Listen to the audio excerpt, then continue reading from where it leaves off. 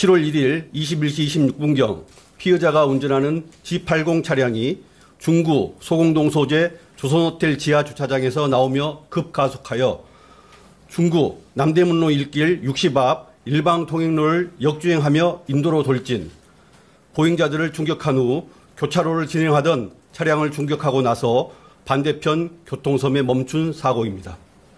이 사고로 인해 사망 9명, 운전자와 동승자를 포함한 부상 7명 등 총 16명의 인명피해가 발생하였습니다. 그간 수사 상황입니다. 사고 발생 직후 경찰서장을 팀장으로 하여 경찰서 관련 기능 전체가 참여한 사고조사 TF를 구성하였으며 실체적 진실을 규명하기 위한 총력 수사를 진행하였습니다.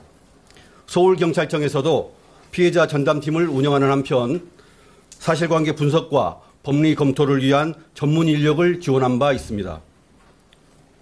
사고 차량과 당시 상황이 확인되는 블랙박스, CCTV 영상 등 확보한 증거물 감정을 위해 국가수 등 전문 기관에 의뢰하였고 사고 재현 등을 위해 국가수, 도로교통공단과 함께 현장 조사를 실시한 바 있습니다.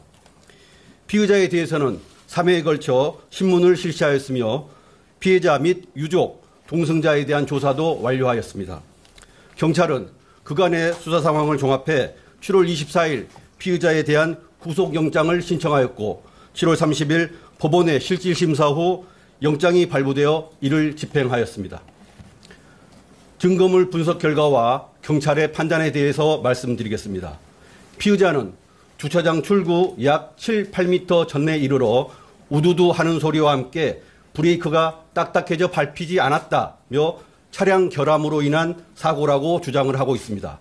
그러나 국가수의 사고 차량 감정 결과 등 증거물 분석 결과는 피의자의 진술과 상반되고 있습니다.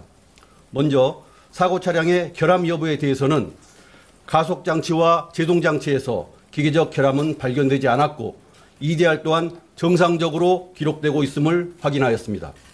둘째, 제동 페달 작동 여부에 대해서는 EDR 기록상 사고 발생 5초 전부터 사고 발생 시까지 제동 페달이 작동된 적은 없으며 주변 CCTV 영상, 목격 차량 블랙박스 영상에서도 충돌 직후 보조 제동 등이 잠시 전멸하는 것 이외에는 주행 중 제동 등이 점등되지 않은 것으로 확인하였습니다.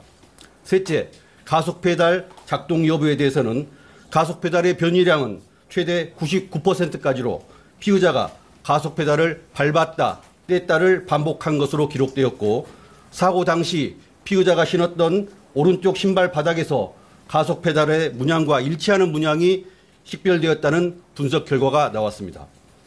이러한 국가수 감정 결과와 주변 CCTV 블랙박스 영상 자료, 참고인 진술 등을 종합적으로 검토한 결과 이번 사고는 차량 결함에 의한 사고라는 피의자의 주장과는 달리 피의자의 운전 조작 미숙으로 의한 사고로 판단하였습니다.